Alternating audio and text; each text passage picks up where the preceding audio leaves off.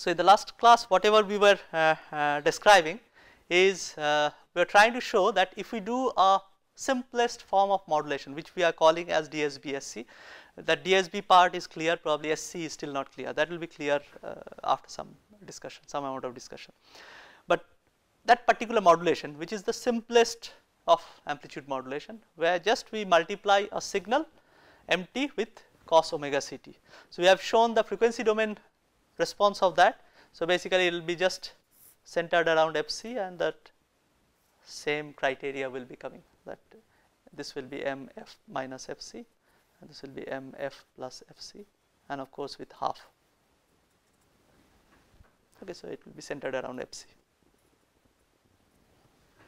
So, this is the frequency domain representation and the corresponding time domain representation we have understood from this particular thing that it is a it is a carrier whose amplitude is instantaneously varying with respect to the message signal which is a slow varying signal according to our assumption. Here also that assumption comes into picture because fc has to be much much bigger than b which is the highest frequency component that the message signal has. So, therefore, that will be much slower varying signal and amplitude of that carrier will be slowly varying accordingly. So, there, that means that mt should be observable in the envelope of the signal that is being transmitted. So, it is a cosinusoidal signal only the envelope will be tracing that mt. Okay.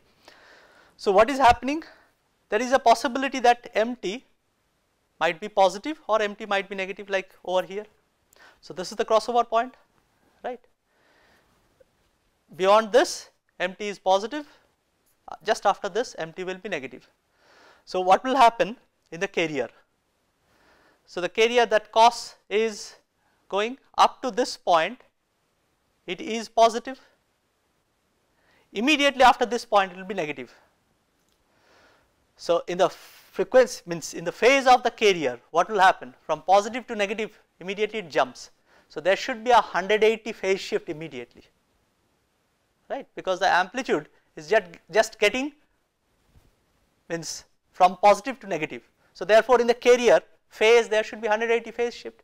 So, wherever there will be 0 crossing in this DSB-SC in time domain if you just observe the signal you will always see a 180 phase reversal. Whichever way, whichever phase it cuts over there it will just be a 180 phase reversal. So, every point you will be getting that, that has a huge implication, we will uh, will see that. That makes the demodulation very uh, costly, we will will will come across that and uh, that is where the suppressed carrier and non-suppressed carrier uh, comes into picture, we will will come to those things. But we have from the time domain we are just trying to analyze whatever is happening. Okay. So, there is a we know as many times there will be this 0 crossover that many 180 phase reversal will be happening. If this was also having a pattern like this, there also we would have observed similar thing. So, it will be like this, the envelope will be just like this and again if things were coming out like this, there will be a 180 phase reversal immediately. Okay. So, as many 0 crossover will be happening, that many phase reversal will be happening. So, we have understood what is the modulation right. What will be corresponding demodulation? That means I will be getting receiving this mt cos omega ct signal from the air uh, through my antenna. Now I have to get back my mt. Okay. So how do I get that? Very simple operation. Another multiplication will give me that. If you just see mt cos omega ct I am getting, if I just multiply it with another cos omega ct locally generated, what will happen? So this is if I just take half mt this is 2 cos square omega ct cos square omega ct can be written as cos 2 omega ct right?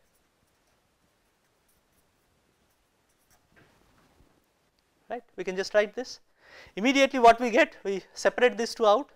I get half mt plus half mt cos 2 omega ct fine? This is what I get. Now just see this signal now you will appreciate why this Fourier transform and all those things were so important why time domain and frequency domain we have to observe this signal.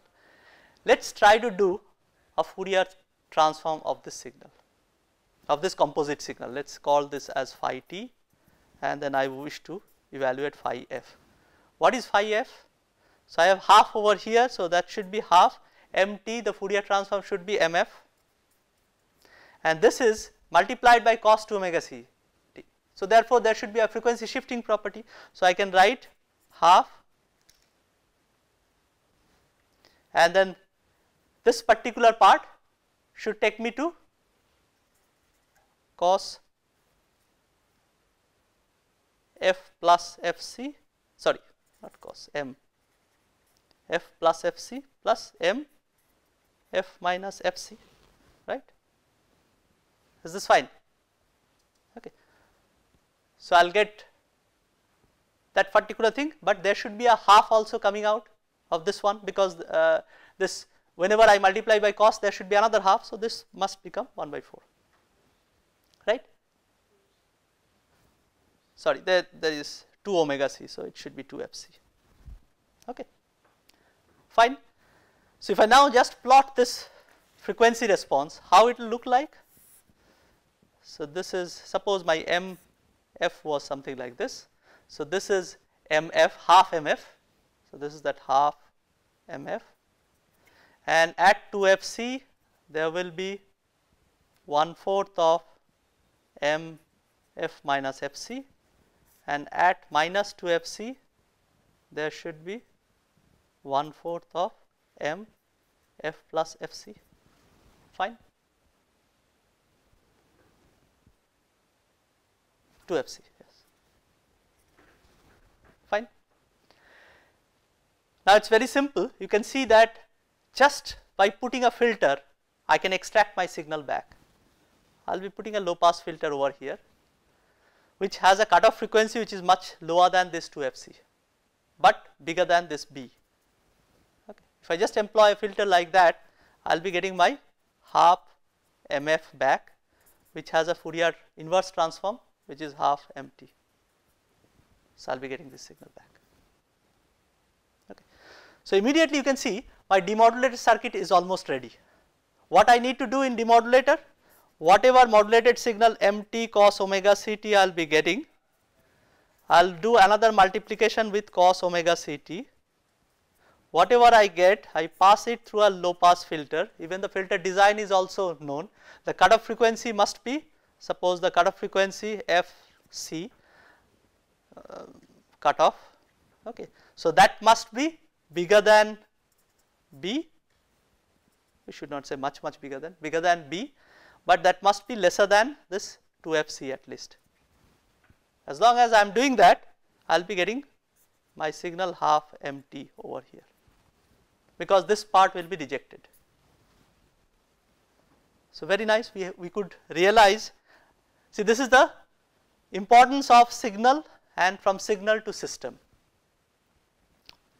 that is why probably we have devoted so much time in doing frequency uh, response, Fourier transform, how to see a signal in frequency domain. Uh, so, those are the things just giving us tools enough tools to actually manipulate the signal and then understand what kind of systems I should put so that whatever I wish I will be able to achieve that. So, basically your modulator and demodulator is now ready for this DSB SC. Of course, we still have not characterized what this multiplier circuit will be, how do I achieve a multiplication. Okay. But we have now understood that if I know how multiplication has to be done, I need a multiplier circuit followed by a low pass filter that will make my uh, demodulator. I need in the modulator I need just a multiplier circuit nothing else. Okay. So, now let us try to see what are the difficulties over here. The first difficulty that comes out is generating this one. That is a big challenge because if you see very carefully the frequency and of course, the phase also we are not writing the phase these two has to completely match over here then only that cos square 2 omega c will be coming out and then only the Fourier transform will give me very nicely mt. Later on we will prove that if there is a phase drift or frequency drift and if we multiply these two, I have a chance of not getting anything over there. Okay. So, it is we have to be very cautious about generating this local sinusoidal that has to be completely in sync with the carrier by which the signal has been originally modulated. The problem is that nobody will give me that signal, right.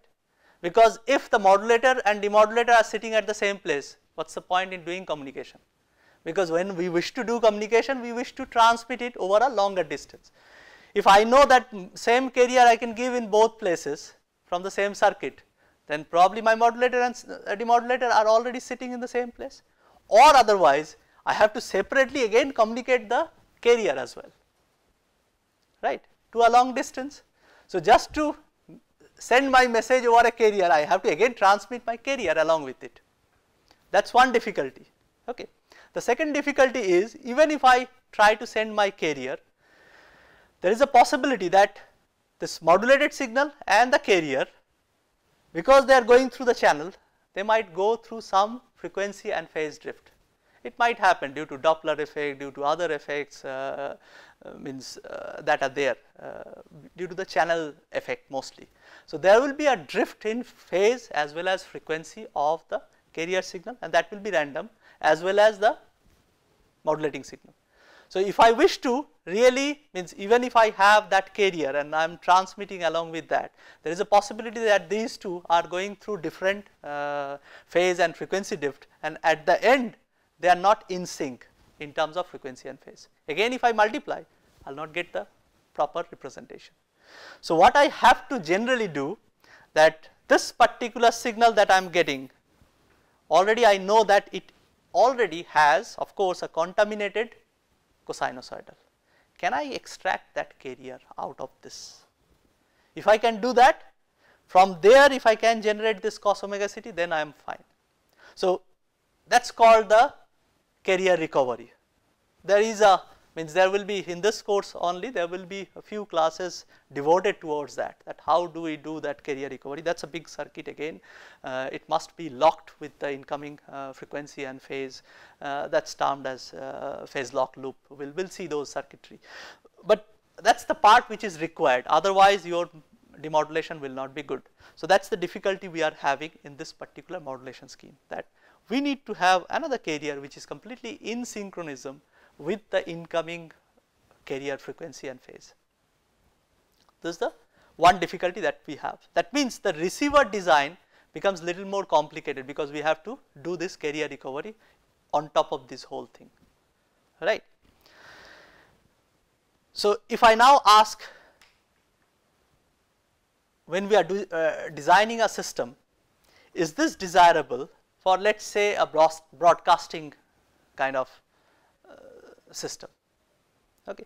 Broadcasting means like the radio transmission, uh, we had those Vividha Bharati and all other things, uh, where we used to uh, just uh, transmit something from a big antenna, okay, and that was broadcasted to everybody. Everybody was listening to uh, same voice.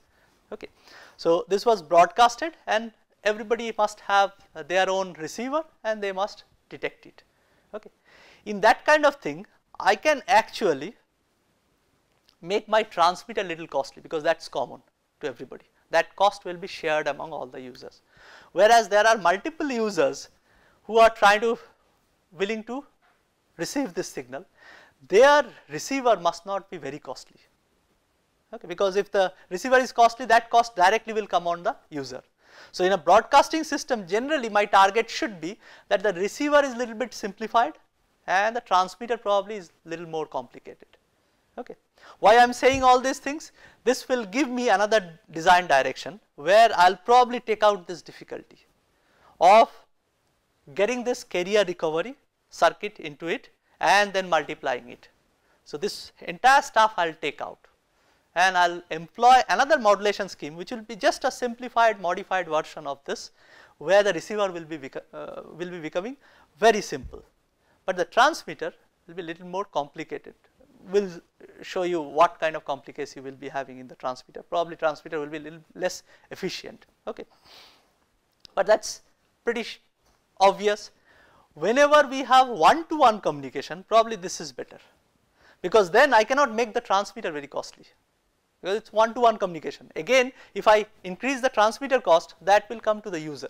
So there I need to have a balance that transmitter receiver must be almost similarly equivalent complex. So there will probably we can employ this particular technique. So that is why that short range radio communication people have used SSB, uh, sorry DSB double sideband uh, suppressed carrier this particular modulation technique that we are discussing about. So whenever we have one to one that short range uh, radio communication which is not, not broadcasting in nature there we can employ this kind of technique okay. Now let us try to see that we have talked about this demodulation. Now let us first for DSB-SC okay let us try to see what are the different kind of modulator that we can generate. So, we have talked about that multiplier. Let us say there are if you go uh, into market you will see that there are multiplier chips with differential amplifier and all those things it is it's little complicated okay. So, we can always employ a direct modulation by that technique. But there are other techniques and which we will be discussing other very simplified techniques to do modulation we will discuss those things. The first one is called the nonlinear modulator.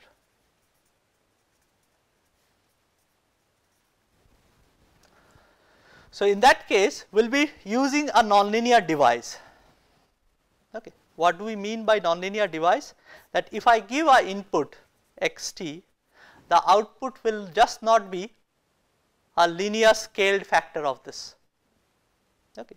What will happen? It will produce some square term as well. It is just a nonlinear device. So, output will be means showing nonlinearity with respect to the input. So, suppose my xt is this and output is yt and if I have yt following this relationship A x t plus b x square t that is the simplest nonlinearity we can get that is the quadratic one okay. So we can also have other nonlinearity or other higher order like cubic so it will be having some another constant c into x cube t or so on higher polynomial also. But we can easily get this quadratic uh, nonlinearity and realize this uh, by some devices which we all know like transistor or diode okay. So, they if you see their characteristics function that has a nonlinearity because the characteristics function generally goes like this right. And if you bias it in certain region you will see that it will follow quadratic nature okay. So, this kind of nature. So, if you give input output will be just uh, in a quadratic form with some a and b that will depend on the diode characteristics. But if we have a nonlinear device which is uh, let us say a diode properly biased so that we get a quadratic uh, nonlinearity into it and that is this device. And now if we um, connect this in this fashion. So, my two input if you know are mt and cos omega ct. I need to produce a multiplication term. So, what I do is something like this I have two adders. So, these are just uh, you can uh, put them as op amp adder okay it will just add the signal. So, this goes over here, this comes over here, this is actually uh, this is a adder actually sorry and this is a subtractor. So, it is plus and minus. I get x1t over here, x2t over here and then I pass it through a nonlinear device of this nature. Again I pass it through a nonlinear device of this nature. So, I get uh, y1t and y2t after passing it through this I pass it through another adder or I should call it subtractor. And then whatever I get I pass it through a band pass filter centered around plus minus omega c or fc okay and the output I will be getting will be proving that it is actually 4b mt cos omega ct. If I adjust my b to, to be 1 by 4 then it is actually mt cos omega ct whichever is our target. Okay. So, how this works it is very simple you just if you just do uh, those algebraic manipulations. So, if I have this x1 and x2 t after nonlinear device. So, suppose this is zt what is zt?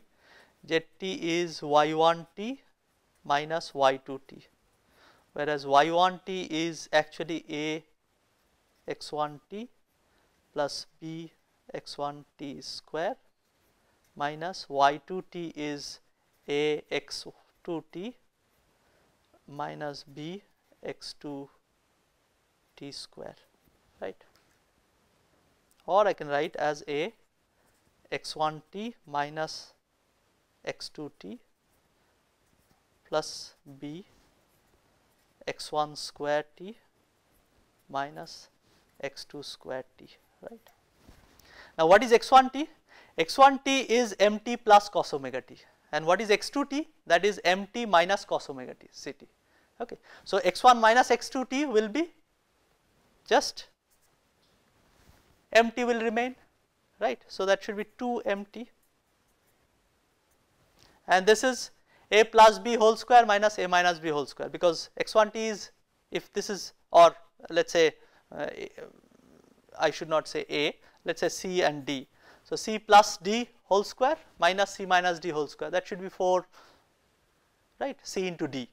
So, therefore, it should be 4 into b c into d is mt into cos omega ct. So, mt into cos omega ct right. Now, what we are doing now the frequency domain term will come into picture. So this mt if I take it into frequency domain that should be mf and this if I take into frequency domain that should be m plus mf uh, sorry m f plus fc and m f minus fc. If I put my band pass filter around fc then it this term should pass through and this will be not going through it. So therefore at the end only this term will survive which is this right. So we can see we can actually devise a multiplier circuit by two nonlinear device and three adder. Okay. Adders are very easy to uh, devise just take a op amp and you can you can make a adder right. So, 3 op amp, op amp and 2 nonlinear device properly biased let us say diode properly biased so that we get this quadratic relationship immediately and a band pass filter again band pass filter can be designed uh, using op amp and um, some active filtering. Okay. So, that is now you can see that is the multiplication circuit. So, this is one way of doing multiplication. There is another way that is called the switching modulation.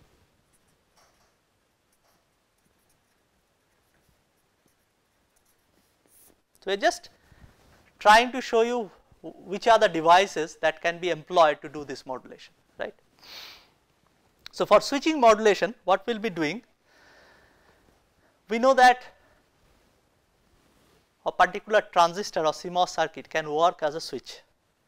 So, in the gate of a particular uh, this switching transistor if we just put a signal like this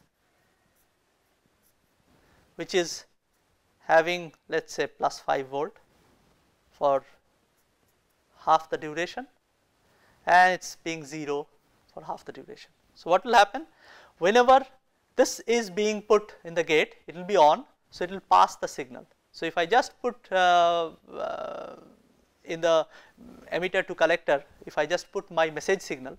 So, whenever at the gate it is getting plus 5 volt it will be on then that signal will be passing through it and whenever it is off that will not pass through it. So, if I just uh, put a resistor across that if I take the voltage I will see that it gets switched. So, basically if my signal is something like this and if I just switch it through this. So, whenever this part is on the signal will follow rest of the part it will be 0 again the signal will follow rest of the part it will be 0. So, basically what is happening my message signal is getting switched through this pulse. Okay. So, almost what we are doing message signal multiplied by this pulse. Okay. So, if I represent this as Wt and this is Mt, I can actually connect this Wt in the gate of that switch or transistor and uh, in the emitter to collector I can put a resistor across which I will be taking the voltage and I across the uh, bias this one and uh, emitter I can put uh, my mt signal okay. So then the output of the resistor will be this modulated signal right or whether it is modulated or not I do not know it is a switched signal right. Now basically that output will be just multiplication of these two as I can see if this is I, I put this as 1 then immediately it will be just a multiplication okay. So I get my output which we say phi t is just mt into omega t. But the omega t if you carefully see that is a periodic signal. So I can do a Fourier series analysis. This is where you can see all those techniques that we have used will actually be used over here. So omega t I can just expand it in Fourier series. So you can uh, just do it it is uh, represent this one as this which we have already done probably something like this okay. So it is if this is overall t this is sorry this is this is t and this is minus t by 2 this is t by 2 and this is minus t by 2 and with this period it, period it gets repeated. Okay. So this one if you just do Fourier series analysis you, you can represent it as this half. So that means the DC part will be half that coefficient. Next coefficient will be 2 by pi into cos omega c t. The next co uh, coefficient 2 omega c t will not be there. It is the 3 omega c t part which will come 1 by 3 cos 3 omega c t plus so it gets alternative plus and minus. So 1 by 5 cos 5 omega c t and so on. Okay.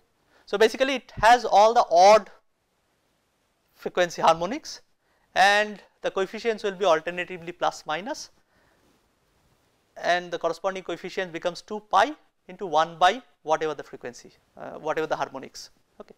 So this is what omega t is. Therefore, my phi t will be immediately I can see I multiply this. So half mt plus 2 by pi mt cos omega c t minus 2 by pi into 1 by 3 mt cos 3 omega c t and so on. Okay.